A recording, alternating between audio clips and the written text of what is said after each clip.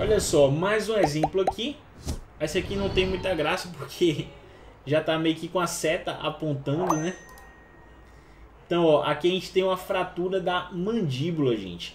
E olha, é bem sutil mesmo, tá? É perceber que de um lado é bem regular e de outro vem irregular e de repente dá uma quebradinha aqui, tá? Então, fratura do ramo esquerdo da mandíbula. Perceba que a qualidade técnica da radiografia de face não é muito boa, tá? E se o técnico não fizer com carinho esse exame, é pior ainda.